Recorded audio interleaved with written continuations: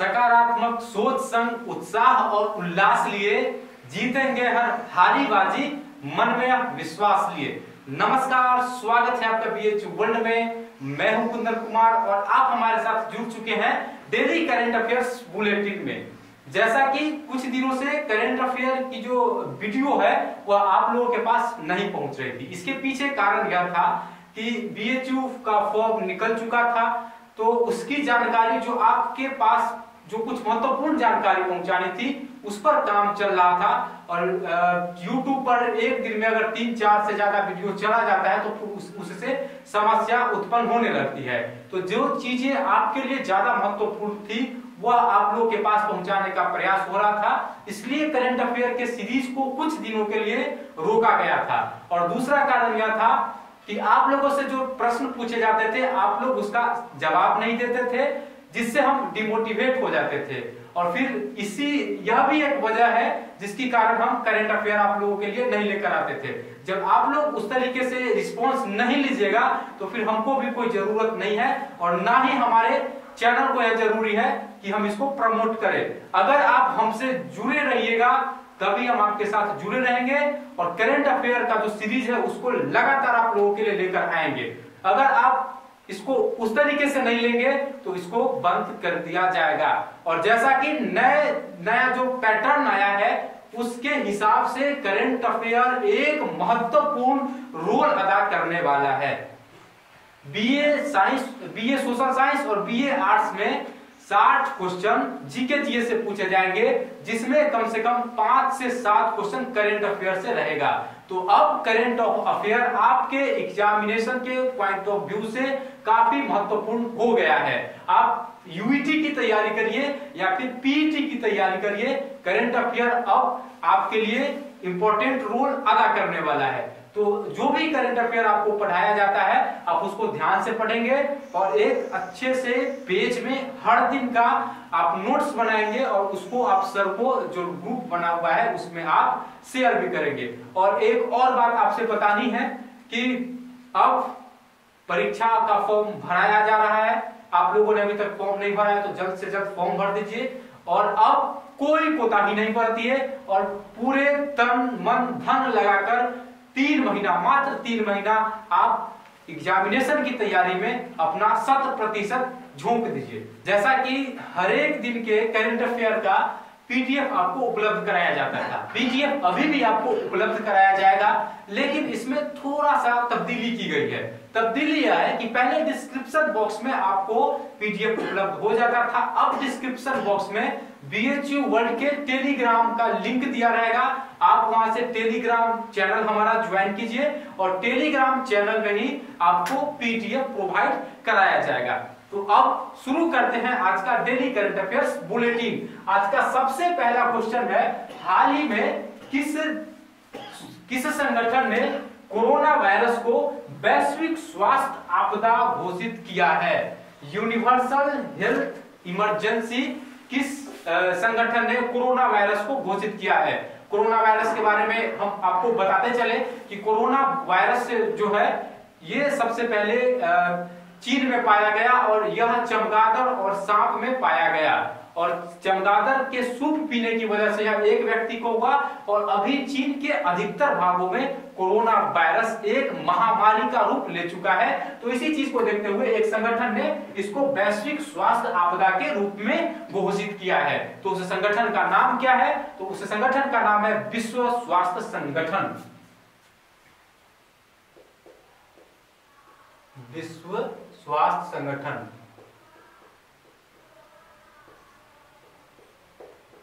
W H O world health organization world world health organization की स्थापना कब हुई?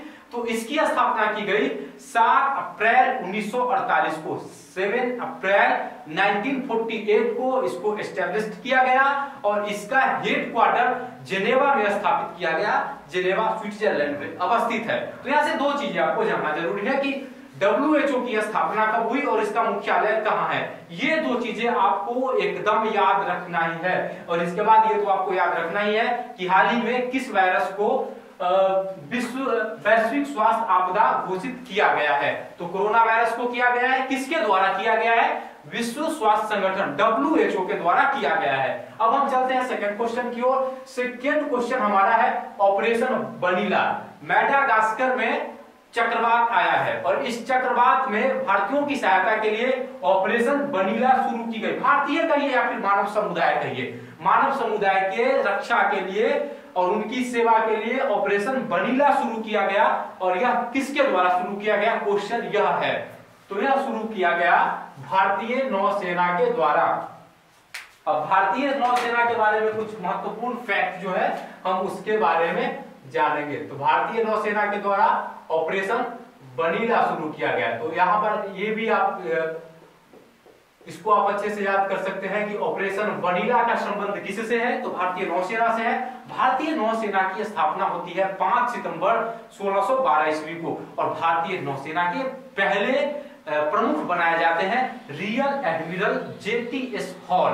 और एक अभी जो इसके वर्तमान प्रमुख है, उनका नाम है कर्मवीर सिंह। एडमिरल कर्मवीर सिंह, उनका पूरा नाम है। और एडमिरल कर्मवीर सिंह भारत के 26वें नौसेना प्रमुख हैं। अब यहाँ पर एक और महत्वपूर्ण क्वेश्चन है जो बार बार एग्ज़ाम में पूछा जाता है। भारतीय नौसेना दिवस कब मनाया जाता है? आप इसको अपने नोट्स बुक में अच्छे से दर्ज करेंगे। भारतीय नौसेना दिवस मनाया जाता है प्रत्येक साल चार जनवरी को, चार जनवरी नहीं, चार दिसंबर को मनाया जाता है। तीसरा प्रश्न है national democratic front of Bodoland national democratic front of Bodoland एक उग्रवादी संस्था है और इसके साथ केंद्र सरकार ने एक शांति समझौता किया है। अब क्वेश्चन ये है कि national democratic front of Bodoland जो है, वह किस राज्य का उग्रवादी संगठन है? तो ये है असम का उग्रवादी संगठन। अब यहाँ हम असम से संबंधित महत्वपूर्ण फैक्ट के बारे में जानेंगे, जो आपके एग्जामिनेशन के पॉइंट ऑफ़ व्यू से काफ़ी महत्वपूर्ण है। सबसे पहले असम की राजधानी जो है, वह दिसपुर में है। और इसके मुख्यमंत्री का नाम सर्वानंद सोनोवाल है और यहाँ के राज्यपाल जगदीश मुखी है। ये कॉमन चीज़ें हैं जो सबको जानना ज़रूरी है। इसके बाद असम का जो विधान परिषद असम का जो विधानमंडल है, वह एक सदनीय है। एक सदनीय का मतलब सिर्फ़ वहाँ विधानसभा है विधानमंडल नहीं है। और वहाँ विधानसभा में सीटों की कुल संख्या है 126 और इसके बाद वहाँ राज्यसभा सीटों की संख्या सात और लोकसभा सीटों की संख्या है चौदह। तो ये था हमारा तीसरा प्रश्न। आज का चौथा प्रश्न हमारा है अरविंद कृष्णा के बारे में। अरविंद कृष्णा कौन है? तो अरविंद कृष्णा भारतीय मूल के हैं और हाल ही में अरविंद कृष्णा को अमेरिका के एक कंपनी का सीईओ बनाया गया है। तो जिस कंपनी का सीईओ बनाया गया है, उस कंपनी का नाम क्या है? तो उस कंपनी का नाम है आईबीएम आईबीएम का सीईओ बनाया गया है अरविंद कृष्णा को। अब नेक्स्ट क्वेश्चन की ओर हम चलेंगे और नेक्स्ट क्वेश्चन हमारा है बैडमिंटन मास्टर टूर्नामेंट। हाल ही में एक देश में बैडमिंटन मास्टर टूर्नामेंट के पहले साल, पहले संस्करण का आयोजन हो रहा था। लेकिन कोरोना वायरस की वजह से इसको आगे के लिए टाल दिया गया। 6 फरवरी से इसका मुकाबला होना था, लेकिन कोरोना वायरस को देखते हुए इसको आगे के लिए टाल दिया गया है। तो वह कौन सा देश है जहाँ पहले बैडमिंटन मास्टर टूर्नामेंट के आयोजन को टाला गया है? तो यह देश है चाइना। चाइना में बैडमिंटन मास्टर टूर्नामेंट के पहले संस्करण का आयोजन होना था, लेकिन कोरोना वायरस की वजह से इसको टाल दिया गया है। अब हम नेक्स्ट क्वेश्चन की ओर बढ़ेंगे और नेक्स्ट क्वेश्चन भी हमारा खेल से ही है। नेक्स्ट क्वेश्चन है ऑस्ट्रेलियन ओपन टू 2020 का मेंस सिंगल का खिताब किसने जीता? तो इसका मेंस का जो खिताब है, वह जीता है नोवाक जोकोविच ने। नोवाक जोकोविच जो है, वह सर्बिया के स्टार टेनिस खिलाड़ी है। और इन्होंने फाइनल में ऑस्ट्रिया के जिस खिलाड़ी को पराजित किया, उसका नाम है Dominic Smith. Dominic Smith Australia के पहले ऐसे टेनिस खिलाड़ी हैं जिन्होंने ऑस्ट्रेलियन ओपन के फाइनल तक का सफ़र तय किया। लेकिन फाइनल में उसका जो सफ़र है, वह नोवाक जोकोविच के हाथों समाप्त हो गया। नोवाक जोकोविच सर्बिया के हैं। और कभी कभी परीक्षा में सीधे पूछ दिया जाता है कि नोवाक जोकोविच का संबंध किस खेल से है? तो नोवाक जोकोविच का संबंध टेनिस से है। नेक्स्ट क्वेश्चन हमारा है, जो बजट से संबंधित है। आम बजट 2020 का इनकम टैक्स का दायरा कहाँ तक सीमित किया गया है? यानी हम कह सकते हैं दूसरे लहजे में इसको कि आम बजट 2020 में इनकम टैक्स कहाँ तक मुक्त किया गया है? फ्री किया गया है। तो जो व्यक्ति पाँच लाख रुपया सालाना कमाता है, यानी कि एक लाख, एक एक साल में जो व्यक्ति पाँच लाख कमाता है, उसको कोई भी इनकम टैक्स नहीं देना पड़ेगा। और हमारा नेक्स्ट क्वेश्चन भी बजट से ही संबंधित है, और हमारा ये जो क्वेश्चन है वो बजट में ही पर्यटन से संबंधित है। जब आम बजट 2020 पेश किया जा रहा था तो उसमें पाँच पर्यटन स्थल को पर्यटन स्थल के रूप में विकसित करने की बात कही गई है। तो वो पाँच जगह कौन कौन है? तो उसमें पहला जगह है हस्तिनापुर। हस्तिनापुर के बारे में आप सब लोग जानते होंगे। दूसरा जगह है शिव सागर जो असम में अवस्थित है।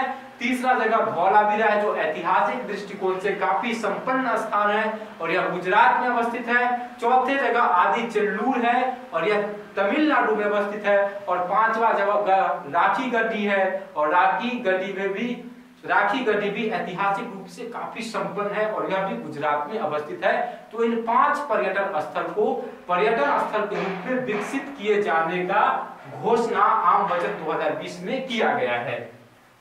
अब नेक्स्ट क्वेश्चन है, जब बजट अभी यहाँ पे जो क्वेश्चन आपको दिख रहा है, सात से लेकर सात, आठ, नौ, दस, ये चार के चार क्वेश्चन आपके बजट से संबंधित है।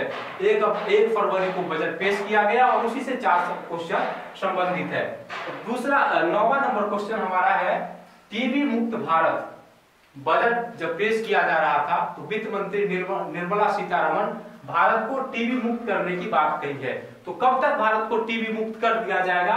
तो 2025 तक भारत को टीबी मुक्त करने का लक्ष्य निर्धारित किया गया है। अब नेक्स्ट क्वेश्चन है, बजट में शिक्षा के लिए कितना पैसा आवंटित किया गया है? तो ये किया गया है निन्यानवे हज़ार तीन सौ करोड़। तो दोस्तों, ये था हमारा आज का डेली करंट अफेयर्स बुलेटिन अब बारी आती है आपसे रुखसत होने की, आपसे विदा लेने की। हम आपसे विदा ले, उससे पहले तीन प्रश्न जो आपसे हमेशा पूछे जाते थे, आज भी पूछे जाएँगे। पहला क्वेश्चन है, आपको बताना है, डब्ल्यू का मुख्यालय का है? दूसरा क्वेश्चन नौसेना दिवस कब मनाया जाता है? और तीसरा क्वेश्चन नोवाक जोकोविच का संबंध किस खेल से है? दोस्तों, अगर आपको हमारा करेंट अफेयर बुलेटिन का वीडियो पसंद आता है तो आप इस इस वीडियो को लाइक करिए, अपने दोस्तों के साथ शेयर करिए और जो भी प्रश्न पूछे जाते हैं कमेंट बॉक्स में आप उसका जवाब दीजिए। और साथ ही अगर अभी तक आपने हमारे यूट्यूब चैनल को सब्सक्राइब नहीं किया है तो इस यूट्यूब चैनल को सब्सक्राइब कर ले। आपसे फिर होगी मुलाकात। अगले वीडियो में आप हमेशा खुश रहिए, मन लगाकर अपने लक्ष्य की तैयारी कीजिए। और हम पहले ही आपको बता चुके हैं, आप 100 प्रतिशत झोंकने की बारी आ गई है। तो आप पूरी तन्मन्यता के साथ तैयारी करें। धन्यवाद। अब आज का तीसरा प्रश्न है। तीसरा प्रश्न है national democratic front of Bodoland national democratic front of Bodoland एक उग्रवादी संस्था है और इसके साथ केंद्र सरकार ने एक शांति समझौता किया है। अब क्वेश्चन ये है कि national democratic front of Bodoland जो है वह किस राज्य का उग्रवादी संगठन है? तो ये है असम का उग्रवादी संगठन। अब यहाँ हम असम से संबंधित महत्वपूर्ण फैक्ट के बारे में जानेंगे, जो आपके एग्जामिनेशन के पॉइंट ऑफ़ व्यू से काफ़ी महत्वपूर्ण है। सबसे पहले असम की राजधानी जो है, वह दिसपुर में है। और इसके मुख्यमंत्री का नाम सर्वानंद सोनोवाल है और यहाँ के राज्यपाल जगदीश मुखी है। ये कॉमन चीज़ें हैं जो सबको जानना ज़रूरी है। इसके बाद असम का जो विधान परिषद असम का जो विधानमंडल है, वह एक सदनीय है। एक सदनीय का मतलब सिर्फ़ वहाँ विधानसभा है विधानमंडल नहीं है। और वहाँ विधानसभा में सीटों की कुल संख्या है 126 और इसके बाद वहाँ राज्यसभा सीटों की संख्या सात और लोकसभा सीटों की संख्या है चौदह। तो ये था हमारा तीसरा प्रश्न। आज का चौथा प्रश्न हमारा है अरविंद कृष्णा के बारे में। अरविंद कृष्णा कौन है? तो अरविंद कृष्णा भारतीय मूल के हैं और हाल ही में अरविंद कृष्णा को अमेरिका के एक कंपनी का सीईओ बनाया गया है। तो जिस कंपनी का सीईओ बनाया गया है, उस कंपनी का नाम क्या है? तो उस कंपनी का नाम है आईबीएम आईबीएम का सीईओ बनाया गया है अरविंद कृष्णा को। अब नेक्स्ट क्वेश्चन की ओर हम चलेंगे। और नेक्स्ट क्वेश्चन हमारा है बैडमिंटन मास्टर टूर्नामेंट हाल ही में एक देश में बैडमिंटन मास्टर टूर्नामेंट के पहले साल, पहले संस्करण का आयोजन हो रहा था। लेकिन कोरोना वायरस वजह से इसको आगे के लिए टाल दिया गया। 6 फरवरी से इसका मुकाबला होना था, लेकिन कोरोना वायरस को देखते हुए इसको आगे के लिए टाल दिया गया है। तो वह कौन सा देश है जहाँ पहले बैडमिंटन मास्टर टूर्नामेंट के आयोजन को टाला गया है? तो यह देश है चाइना। चाइना में बैडमिंटन मास्टर टूर्नामेंट के पहले संस्करण का आयोजन होना था, लेकिन कोरोना वायरस की वजह से इसको टाल दिया गया है। अब हम नेक्स्ट क्वेश्चन की ओर बढ़ेंगे और नेक्स्ट क्वेश्चन भी हमारा खेल से ही है। नेक्स्ट क्वेश्चन है ऑस्ट्रेलियन ओपन टू 2020 का मेंस सिंगल का खिताब किसने जीता? तो इसका मेंस का जो खिताब है, वह जीता है नोवाक जोकोविच ने।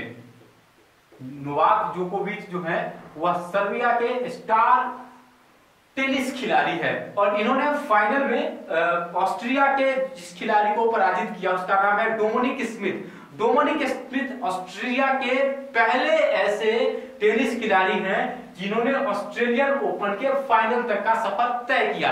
लेकिन फाइनल में उसका जो सफ़र है, वह नोवाक जोकोविच के हाथों तो समाप्त हो गया। नोवाक जोकोविच सर्बिया के हैं।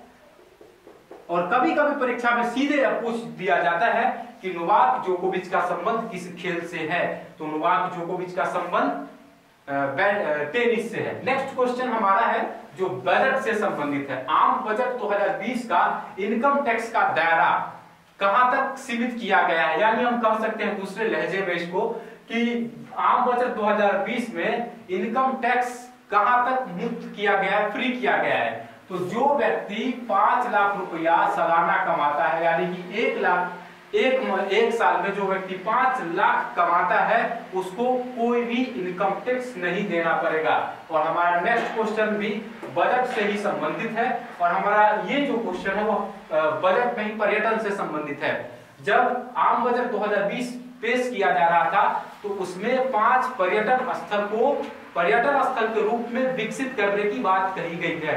तो वो पाँच जगह कौन कौन है? तो उसमें पहला जगह है हस्तिनापुर। हस्तिनापुर के बारे में आप सब लोग जानते होंगे। दूसरा जगह है शिव सागर जो असम में अवस्थित है। तीसरा जगह धौलावीरा है, जो ऐतिहासिक दृष्टिकोण से काफ़ी संपन्न स्थान है और यह गुजरात में अवस्थित है। चौथे जगह आदि चेल्लूर है और यह तमिलनाडु में अवस्थित है। और पांचवा जगह राखी गड्डी है और राखी गड्डी में भी राखी गढ़ी भी ऐतिहासिक रूप से काफ़ी संपन्न है और यह भी गुजरात में अवस्थित है। तो इन पाँच पर्यटन स्थल को पर्यटन स्थल के रूप में विकसित किए जाने का घोषणा आम बजट 2020 में किया गया है। अब नेक्स्ट क्वेश्चन है, जब बजट अभी यहाँ पे जो क्वेश्चन आपको दिख रहा है सात से लेकर सात, आठ, नौ, दस, ये चार के चार क्वेश्चन आपके बजट से संबंधित है। एक एक फरवरी को बजट पेश किया गया और उसी से चार क्वेश्चन संबंधित है। दूसरा नौवा नंबर क्वेश्चन हमारा है टीबी मुक्त भारत। बजट जब पेश किया जा रहा था तो वित्त मंत्री निर्मला सीतारमन भारत को टीबी मुक्त करने की बात कही है। तो कब तक भारत को टीबी मुक्त कर दिया जाएगा? तो 2025 तक भारत को टीबी मुक्त करने का लक्ष्य निर्धारित किया गया है। अब नेक्स्ट क्वेश्चन है, बजट में शिक्षा के लिए कितना पैसा आवंटित किया गया है? तो ये किया गया है निन्यानवे हज़ार तीन सौ करोड़। तो दोस्तों, ये था हमारा आज का डेली करंट अफेयर्स बुलेटिन अब बारी आती है आपसे रुखसत होने की, आपसे विदा लेने की। हम आपसे विदा ले, उससे पहले तीन प्रश्न जो आपसे हमेशा पूछे जाते थे, आज भी पूछे जाएँगे। पहला क्वेश्चन है, आपको बताना है, डब्ल्यू का मुख्यालय का है? दूसरा क्वेश्चन नौसेना दिवस कब मनाया जाता है? और तीसरा क्वेश्चन नोवाक जोकोविच का संबंध किस खेल से है? दोस्तों, अगर आपको हमारा करंट अफेयर बुलेटिन का वीडियो पसंद आता है तो आप इस इस वीडियो को लाइक करिए, अपने दोस्तों के साथ शेयर करिए, और जो भी प्रश्न पूछे जाते हैं कमेंट बॉक्स में आप उसका जवाब दीजिए। और साथ ही अगर अभी तक आपने हमारे यूट्यूब चैनल को सब्सक्राइब नहीं किया है तो इस यूट्यूब चैनल को सब्सक्राइब कर ले। आपसे फिर होगी मुलाकात। अगले वीडियो में आप हमेशा खुश रहिए, मन लगाकर अपने लक्ष्य की तैयारी कीजिए, और हम पहले ही आपको बता चुके हैं, आप 100 प्रतिशत झोंकने की बारी आ गई है तो आप पूरी तन्मन्यता के साथ तैयारी करें। धन्यवाद।